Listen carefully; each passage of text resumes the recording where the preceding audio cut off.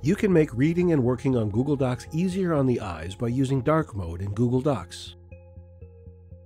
We will be showing how to turn on dark mode in Google Docs Android app. The process on iPhone is very similar. Tap the Options menu in the upper left-hand corner of the app. Then select Settings. Tap on Choose Theme and select Dark.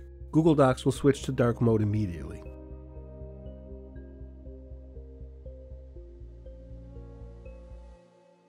In order to mimic dark mode on desktop, we are using a combination of Chrome extensions and changing some page settings. Google Docs does not offer dark mode natively in Chrome.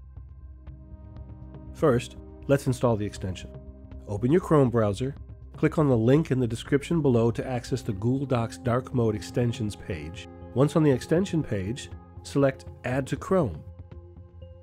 Then click Add Extension in the pop-up that appears. The extension will download and install. You will need to reload any open Google Docs windows for the extension to take effect. In order to make the page dark, we need to adjust the page and font settings. Go to File, Page Setup, and go to the Page Color circle and click on the down arrow. Now choose a dark tone that you like and press OK. Next, select all of your document text by hitting Command A on a Mac or Control A on Windows, then click on the font color icon and select your light color.